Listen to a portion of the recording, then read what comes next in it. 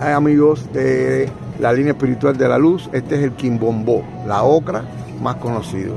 Este producto vino de África, como el mismo ñame, el intercambio que se hizo, calabaza América para África, ñame para acá y el quimbombó. El quimbombó es un vegetal que es muy bueno para varias cosas, incluso hasta las hojas del vegetal. Hay un dicho africano que dice que el quimbombó no crece más alto del que lo sembró. O sea que es un, es un, un vegetal usado en las religiones afrocubanas y sus afrodescendientes, un producto africano que tiene mucha riqueza, tiene, sirve para la diabetes, eh, nos quita un poquito el hambre, es muy bueno para el hígado, buenísimo para el hígado, es un antiinflamatorio, el quimbombó, aquí como lo ven, ocra en inglés. La planta es un poquito difícil encontrarla, pero bueno, desde aquí, desde este mercado,